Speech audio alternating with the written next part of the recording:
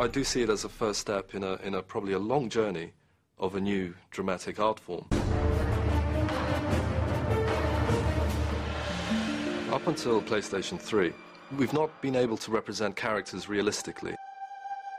An angry face without these kind of wrinkle marks here on the nose and everything just isn't an angry face. We are striving to create the best facial performance seen in a game. This is capturing performance. This is driving digital creations through acting performance. When you're directing and, and you're creating a world in, in the digital realm, there are no restrictions in a way. We've been working with Weta quite closely to develop facial capture technology. The process starts with having a number of dots on their face. Motion capture cameras pick up light, so the markers are just light sensors, that's all that they are.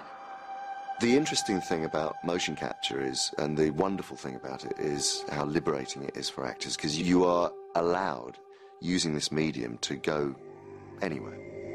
What they are doing from your performance is building up an entire virtual map of you. Digital characters don't exist in motion capture without the, the, the soul of the, of the performer bringing it to life.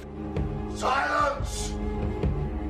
We're doing dramatic stuff that hasn't been done before. We're, we're combining different art forms and mediums here. We're now in a position where I hope Heavenly Sword will be the first really big game for the PlayStation 3.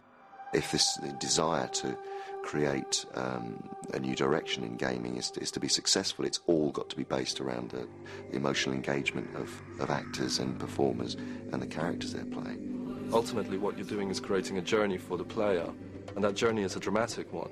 And we fit in the dramatic elements with the gameplay ideas and design the whole experience around that.